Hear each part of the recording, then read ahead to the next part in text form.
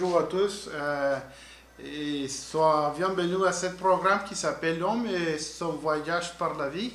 Et nous allons parler beaucoup de choses qui sont très importantes pour les hommes. Euh, je voudrais faire un tout petit peu de contexte pour parler de qu'est-ce que signifie l'homme et son voyage par la vie. Euh, originalement, le programme est un programme américain qui est partagé par un frère qui s'appelle euh, Robert Lewis. Il a développé beaucoup de matériaux pour, euh, pour les hommes. Et sont des matériels, matériels qui sont euh, une grande bénédiction pour moi. Ce programme aujourd'hui, c'est un programme que nous, nous avons à Mexique. Nous faisons le programme à Monterrey, Nuevo León, Mexique. Originalement, c'était un programme en espagnol, mais nous avons pensé que c'est important de, de, partager ces choses avec des, autres personnes des autres pays. C'est la raison pour laquelle nous faisons ce programme euh, aussi en portugais, en espagnol. Peut-être on va faire des programmes en anglais. Et s'il y a l'opportunité de faire les programmes dans des autres langues, ça serait, si c'est possible, nous, nous allons faire ce programme dans des autres langues. Je voudrais aussi m'excuser pour mon français. Je ne suis pas un native parlant de, de, langue française. Euh, mon langage c'est l'espagnol. Mais euh, nous allons essayer de faire un programme décent parce que je crois que c'est important de partager, de partager toutes ces choses. Ah, j'aimerais aussi euh, parler des, des, autres choses par le programme. Euh, nous allons parler de la conversion à Jésus-Christ, nous allons parler parfois des différentes addictions que les hommes peuvent être avoir, comme l'addiction à la pornographie ou l'addiction au sexe. Nous allons parler de beaucoup de programmes. Et ce programme, c'était idée ou planier par, pour des personnes qui sont euh, des langages français. Et j'aimerais euh, vous demander si vous aimez ce programme de partager avec les autres. Nos intentions sont de partager le programme avec des personnes qui sont en France, au Québec ou peut-être à l'Afrique. C'est un programme, euh, comme je dit antérieurement, pour les hommes nous allons parler du voyage de l'homme par la vie, et que c'est très important, et comme euh, des différents euh, étages dans la vie, ou des différentes étapes dans la vie qu'un homme va passer. Et, nous commençons euh, avec une, une nous partageons un, un, verset de la Bible. Dans ce verset de la Bible, nous parlons du temps quand on était dans le jardin d'Éden. Et dans ce temps-là, quand, l'on était là, avec sa femme, Ève, ils ont fait beaucoup de choses, ils ont eu beaucoup d'interactions. Et par, cette part dans la Bible, nous pouvons euh, voir que, par exemple, euh, Adam et Eva, et ils étaient là, mais un personnage euh, très péculier rentre là dans, ces interactions. Et dans ce temps-là, c'était euh, la serpente. La serpente rentrait dans la vie d'Adam et Eva et elle a fait des différents questionnements, des différentes questions à Eva. Et il a demandé à Eva une question très curieuse. Il dit, ah, Dieu vous a demandé de manger rien des choses que vous savez dans le jardin. Mais elle, elle dit, non, euh, Dieu nous a donné la permission de manger de tout, excepte de fruits, de bien et du mal. Et quand elle dit ces choses, elle dit, nous ne pouvons manger et nous ne pouvons euh, euh, toucher l'arbre de bien et de mal. Et, il dit, Non, Dieu sait que le jour que vous mangez de l'arbre de bien et du mal, des fruits du bien et du mal, vous seriez comme Dieu. Vos, yeux seront ouverts et vous va connaître le bien et le mal. Et vous serez égal à Dieu. Et nous pensons qu'Eva, par ce temps-là, elle a pensé, ah, nous ne sommes pas, moi, je ne suis pas égal. Et nous, nous savons que maintenant, euh, la, la, lutte, de toutes les femmes est l'égalité. Beaucoup de, de, femmes, euh, elles, sont euh, en train de lutter pour ces choses. Elles ne, elles ne pensent pas qu'elles sont égales. Et par tout le monde, par toutes les cultures, par tous les parts du monde, la, la, femme pense de cette manière. Elle, elle doit euh, avoir un, grand voyage pour avoir l'égalité. Et ça, c'est très important parce que ça, ça fait euh, un bordeaux, un, non, pas un bordeaux, un fardeau, pardon, un fardeau très très fort pour les femmes. Les femmes, tout le temps, veulent être égales. Et c'est très difficile. Mais si nous regardons les interactions de l'homme là, l'homme était là tout le temps et il regardait toutes les, choses que la femme fait et il a écouté toutes les choses que la serpent a dit à la, femme. Et, et il pensait, ah, on, va voir si, si elle, euh, elle est morose quand, quand, quand, elle mange des fruits de l'arbre de bien et de mal. On va voir si elle est morose. Mais quand il regarde qu'elle n'est pas morte, il dit, non, je vais manger aussi. Dans toutes ces choses, à plus tard, Dieu vient et demande, Adam, Adam, où est-ce que tu es? Et Adam euh, était, il, s'est caché. Et il dit, oh Dieu, euh, le problème est que je sais que je sais, nous, nous sommes noués? Et nous avons écouté que vous venez et nous sommes noués. Et, et il lui a demandé à Adam, comment est-ce que tu sais que tu es noué que vous êtes noué? Est-ce que vous avez déjà mangé du fruit du bien et du mal? Et il dit, euh, Dieu, la femme que tu m'as donnée, ça signifie, Dieu, ce n'est pas mon problème. C'est ton problème ou c'est le problème d'elle. C'est son problème. Mais je suis la victime ici. Je ne fais rien. Et ça, c'est une chose qui passe avec tous les hommes aujourd'hui.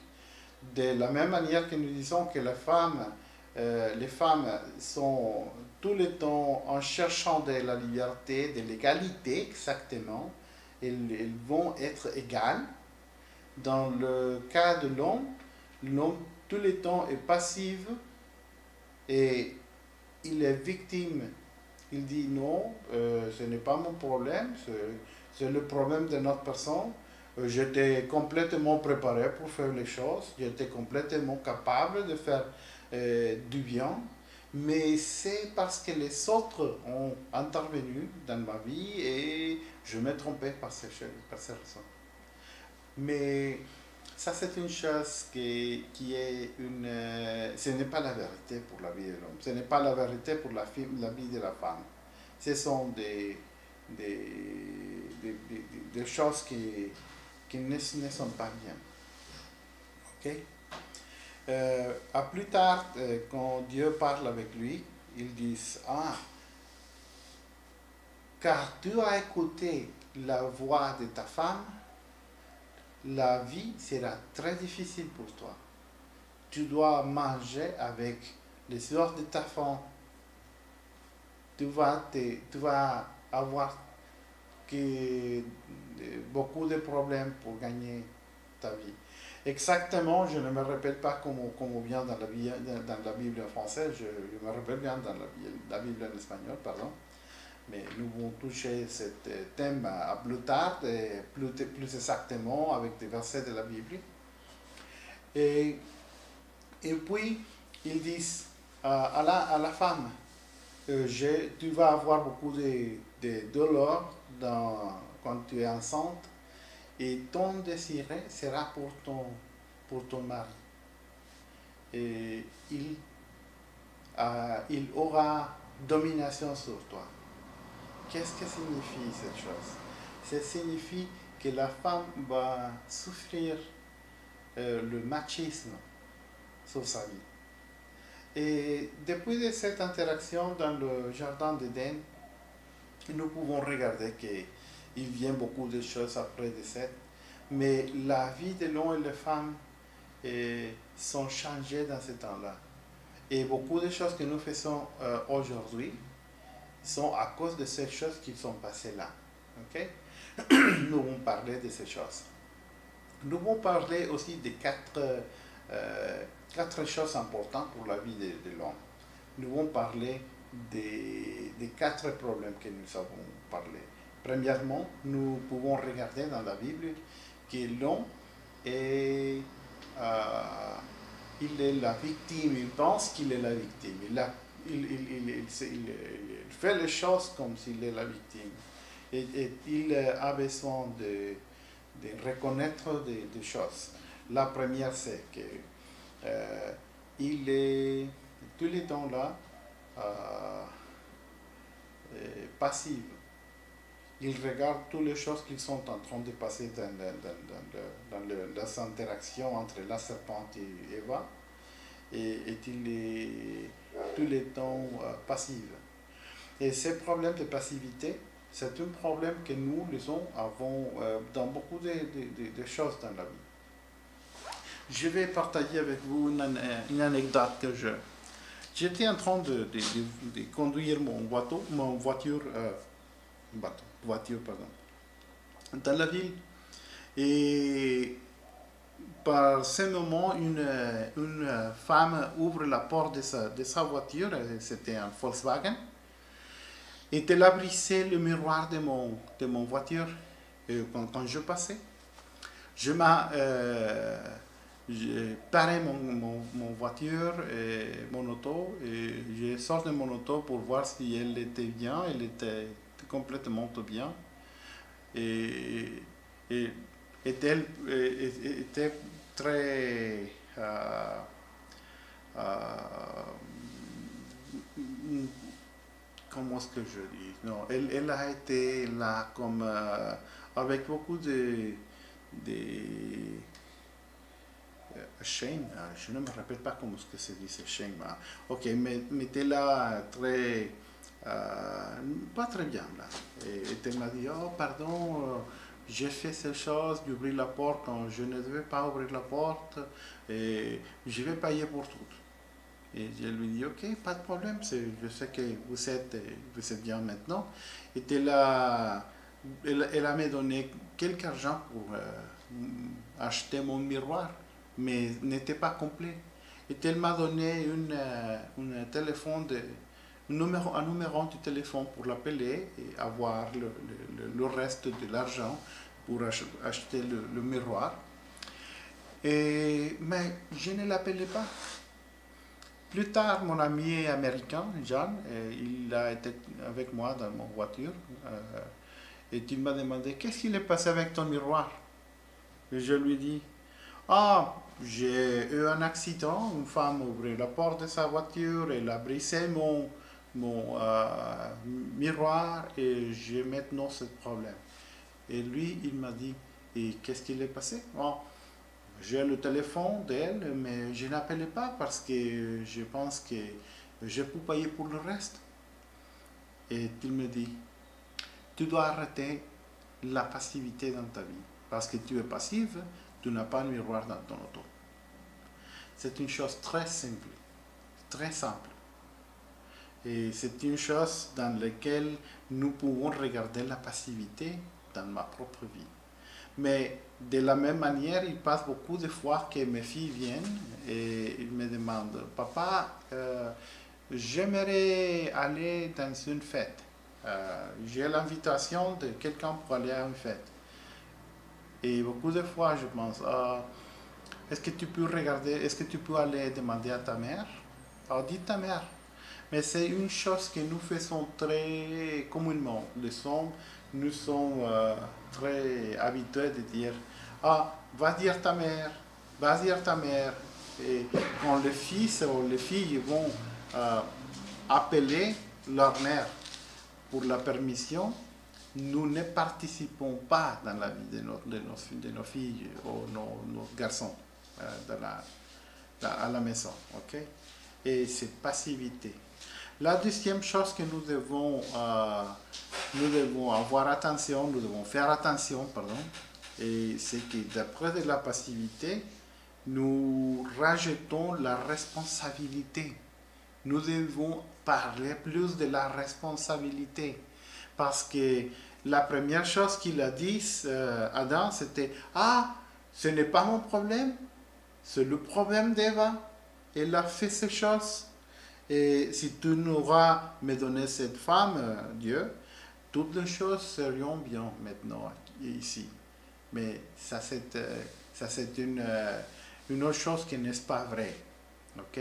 Parce qu'il était tout le temps un participant des de, choses qui passaient dans, la, dans, le, dans le jardin d'Éden. Mais maintenant, nous savons la passivité, nous devons rejeter la passivité nous devons accepter notre responsabilité parce que nous savons que l'homme a cette tendance à être irresponsable. Et quand nous regardons les femmes et les hommes qui sont divorcés, nous pouvons regarder que presque tous les temps, le fils ou les, les enfants, ils restent à la maison avec sa mère, avec leur mère. Mais l'homme part. Il il quitte la maison. Et presque tous les temps, nous regardons ce problème.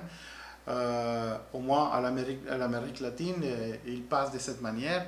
Et je sais que beaucoup de personnes dans des autres cultures, spécialement dans les cultures françaises, euh, beaucoup de personnes peuvent dire Oh non, nous les Français, nous sommes différents, c'est une culture, nous, nous avons une culture différente des, des autres cultures. Mais au final, nous regardons le même effet. L'homme qui n'a pas de responsabilité. Nous, nous, avons déjà parlé de ces deux choses. La, la, la, la, faute de, la passivité pardon, et la, la faute de responsabilité. Après, dans le ministère pour le son, nous parlons de être encouragé. Laisse-moi penser bien comment est-ce que je veux dire ces choses en français. La,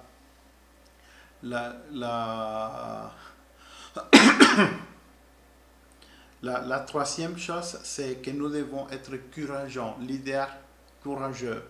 ok? Nous devons guider nos enfants, nos femmes, notre famille, notre... Euh, euh, collègues euh, dans le travail ou à l'école, très encouragés. nous, devons être ces types d'hommes, par, par, exemple, dans la, dans la vie à la maison. Et nous devons avoir ce temps, quand nous parlons avec nos, nos fils ou nos filles, et dire, et vous savez une chose, vous savez que ces choses que vous faites ne sont pas bien. Beaucoup de fois, nous restons en silence, nous, nous restons à la maison en silence et nous ne disons pas des choses ou nous disons non, je dois respecter la liberté des autres, je dois respecter la liberté de mes filles, de mon fils ou de ma fille. Mais beaucoup de fois, mais beaucoup de fois, pardon, nous pouvons regarder que les choses qu'ils font ne sont pas bien et ils ont besoin d'une direction et nous dans la maison, nous devons donner cette direction pour les enfants, pour nos enfants. OK? Mais beaucoup de fois, parce que nous avons une culture différente, parce que nous pensons, oh non, comment est-ce que je vais dire ces choses? Ils sont libres. Ils sont libres aussi, aussi oui, mais aussi ils ont beaucoup de besoin d'être dirigés.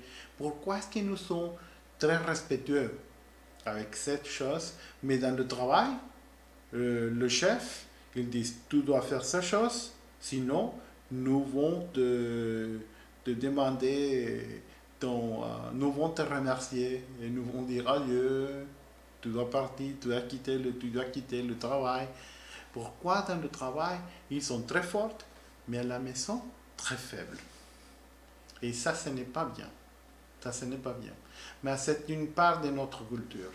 Nous savons beaucoup des, des, des ados qui utilisent beaucoup le téléphone, qui utilisent beaucoup le, le réseau social, qui utilisent beaucoup de choses comme ça, et nous ne disons rien.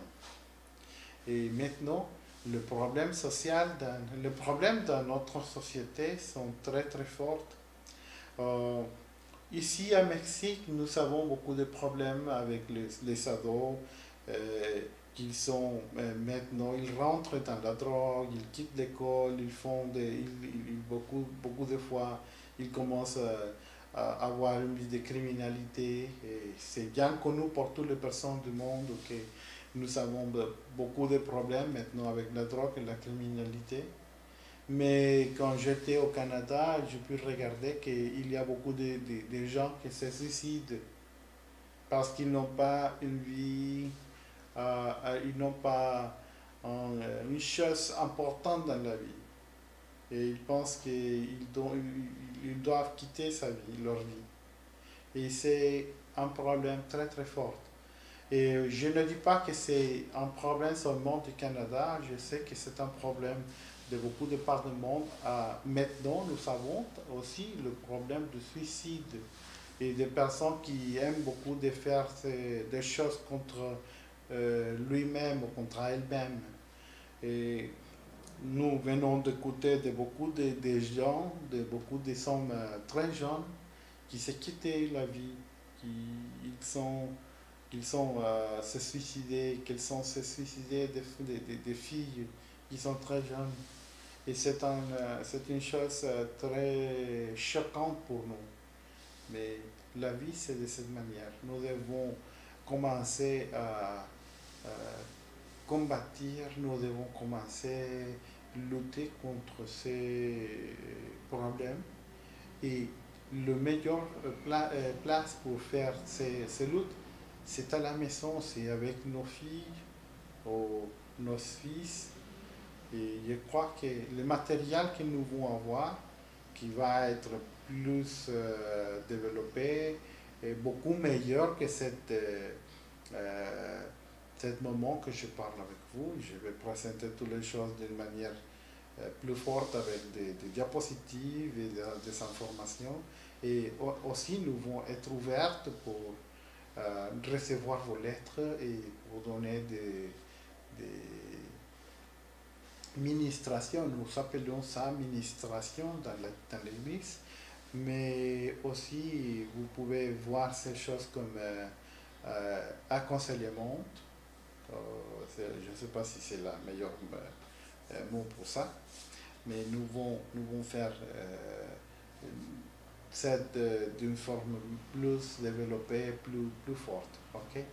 Et le, le, quatrième, le quatrième point que j'aimerais parler aujourd'hui, c'est que nous devons être, nous devons euh, garder pour une, récomp une récompense meilleure. Une récompense que peut-être nous ne devons pas recevoir ici. Parce que tous les temps que nous parlons d'avoir une récompense, nous parlons d'une récompense ici dans la vie. Mais nous allons voir une récompense. Très certainement, nous allons voir cette récompense dans la vie de nos fils et nos filles. Mais aussi, nous allons voir une récompense là, quand nous étions avec lui, dans le ciel.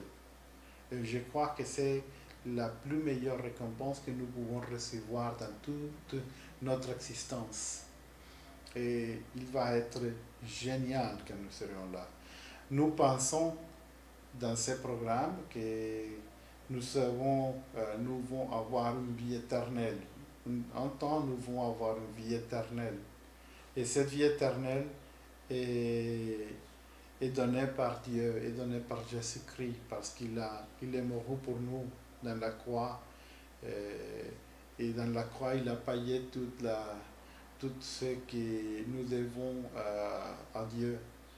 Et je crois que Dieu va nous recevoir, nous croyons que Dieu va nous recevoir au ciel par le sacrifice qu'il a fait pour nous. Nous allons parler plus de ça. Nous allons parler plus des sacrifices qu'il a fait pour nous pour avoir la vie éternelle. Je vais maintenant à, euh, à aussi euh, parler d'un un tout petit peu de programme. Nous, nous allons savoir euh, en dans l'introduction, nous allons parler de différents problèmes que les hommes ont. Eux.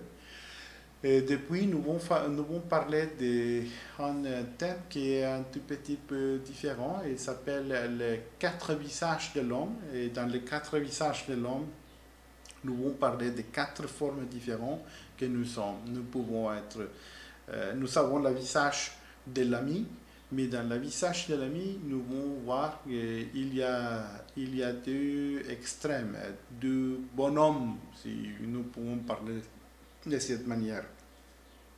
Dans ce petit bonhomme, euh, c'est l'homme qui est une personne qui aime beaucoup d'utiliser les autres, ou une personne qui est très froide et qui ne connecte pas avec les autres. Ce visage de l'amitié que nous devons avoir, c'est un visage qui doit être très équilibré. Depuis, nous avons parlé de, de, de, la visage de, l'homme qui aime. quand nous aimons, euh, quand nous sommes des, bons, euh, euh, nous, nous sommes bons pour aimer. Et, c'est une forme équilibrée. Mais quand les hommes n'aiment pas bien à la maison, ils se deviennent très froids ou ils se deviennent très critiques par exemple, avec mes, mes, enfants, où je peux être très critique et accepter pas quand ils ne font pas les choses d'une forme excellente.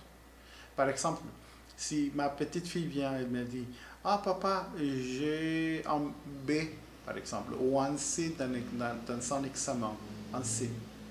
Et elle a passé l'examen, mais là, elle a eu un C. Et je dis, ah, pourquoi est-ce que tu as un C Pourquoi est-ce que tu, tu, as un B Pourquoi pas? Euh, excellente Pourquoi? Presque, presque l'excellence, mais pas excellente. Ça, c'est être critique. Pour, pourquoi nous, ne disons pas, oh, ça, ça c'est très bien, la prochaine fois, tu vas être meilleur. Ou si elle n'est si elle pas meilleure la prochaine fois, seulement accepter la forme qu'elle fait. Parce qu'elle est ma fille, je l'aime. Et l'autre forme, c'est que si je suis très froid avec elle, qu'il vient, elle dit, papa, est-ce que j'ai un B, un C, un A? Dis, ah, ok, c'est bien. Mais je ne prête attention à elle. Ça, sont, ils sont deux extrêmes de, de, de l'amour deux extrêmes que nous pensons qu'ils ne, ne, doivent pas être là. Nous devons être équilibrés. La deuxième, la deuxième visage de l'homme, c'est la face de l'amour. Nous, nous parlons aussi des autres deux. La, la, la, la, visage du guerrier. Le guerrier dans la vie de l'homme doit être équilibré aussi. Si nous n'avons pas un visage équilibré, une vie équilibrée comme guerrier, nous nous devenons du destructeur. Le guerrier lutte pour la famille, lutte pour sa vie, lutte pour l'évangile, lutte pour des choses. Et, et, et, la, et la visage plus, euh, comment est-ce que je peux dire ça, la visage plus honorable d'un homme. Quand les personnes parlent d'un homme, ils disent, je suis un soldat, je suis comme un soldat, je suis ferme ici. Mais il y a des fois quand nous sommes euh, très forte. Et dans ce, temps-là, quand nous sommes très forts, nous pouvons nous devenir un euh, destructeur. Ou si nous sommes très faibles, nous pouvons nous devenir des... Euh, en, espagnol, nous, nous appelons ces personnes de déserteurs. déserter, nous pouvons déserter, nous pouvons quitter l'armée et abandonner tout le peloton ou abandonner tout l'escadron et, et, être, euh, comment, euh, être distant de, de nous, ne, nous ne devons pas être de cette manière. ok? Nous devons avoir un visage équilibré, pas de destructeur, pour avoir le temps pour penser, ok, je vais lutter pour les choses, mais pas jusqu'à le point, pas jusqu'à le point que je, je vais détruire euh, ma, propre maison, mais ma propre vie, ok? L'autre visage de l'homme, c'est le visage de roi. Quand un roi n'est pas équilibré, il a le problème d'être un tyran ou un abdicateur. ok? Le tyran, c'est la même chose, presque la même chose que dans le cas du guerrier. ok? C'est un personne critique, c'est un personne qui va détruire sa propre famille, sa propre vie. Ou le abdicateur, c'est la personne qui va quitter la maison et qui va être absente. ok? Nous parlons dans le ministère de l'homme des cinq problèmes différents que les hommes nous pouvons avoir. Et ça, c'est un autre thème que nous allons développer chacun à son tour. Et c'est le problème de, de, de père absente au père euh, intermittente. Et c'est le père qui n'est pas à la maison, quitte la maison. Ok, il est dans la maison, mais il n'est pas quoi avec ses, fils, son fils ou ses filles. Et nous avons euh, aussi un autre problème dans nos corps qui c'est le problème des de personnes qui sont très, très proches de la mère. ok? Quand, un homme est très proche de son mère, sa mère pense, oh pauvre de mon, de mon fils, il, il, n'est pas son père avec lui. Et, elle commence à faire, beaucoup, à faire beaucoup de, des interventions dans la vie de, de son fils sa fille jusqu'à un point qui est très difficile pour eux de faire, de faire pardon, ses propres euh, décisions, de prendre des, des, décisions importantes. ok? Puis nous parlons de la solitude quand euh, un homme est seul et tout seul, il fait beaucoup d'erreurs. spécialement des hommes qui sont dans le, le, business, qui, qui, sont dans un voyage par exemple de business, qui il fait beaucoup de choses qu'il ne, qu'il ne font pas régulièrement dans sa vie, dans sa, ville. Mais ils font beaucoup de choses qui ne sont pas bien quand ils, sont dans des autres villes parce qu'ils sont dans un voyage de business. Et aussi, nous allons parler de qu'est-ce que signifie être un homme euh, de vrai, un, vrai homme. Parce que nous n'avons pas une, euh, une image euh, exacte de qu'est-ce que signifie être un homme réel. Et nous allons analyser aussi la vie de Jésus-Christ et comment est-ce qu'il est un homme réel, un homme de vrai. ok? Et finalement, nous allons parler aussi de, de problèmes de, de cœur. Nous, nous appelons en espagnol le, le, ou en anglais, de, de Pravity Wound. Okay? Nous, nous allons parler de, de cette décadence de du corps de l'homme et comment nous allons euh, avoir une résolution, comment est-ce que nous allons avoir une solution pour ce problème. Et beaucoup d'autres problèmes que nous allons parler, mais maintenant, euh, nous ne vont pas faire ça parce que nous, sommes maintenant 100 ans, nous, devons partir. Mais par le, Provence, ben, le, programme suivant, nous allons parler de beaucoup de choses qui sont importantes. Aussi, dans de différents programmes, nous vont, programmes, pardon, nous allons savoir des, personnes qui viennent pour parler avec nous, comme la dernière fois que nous avons des amis du Brésil. Euh, peut-être pour, la, pour le, le, suivant programme, nous allons avoir ici des, deux personnes du Brésil pour avoir une, pe une, petite participation et parler de son témoignage. Okay? Et il va être très, très bon. Maintenant, euh, je dois quitter le programme, je vais le quitter en espagnol. Et pour tous nos amis qui sont au Mexique et qui parlent français, les damos muchas gracias y hasta la próxima. Que Dios les bendiga. Que Dios vous bénisse.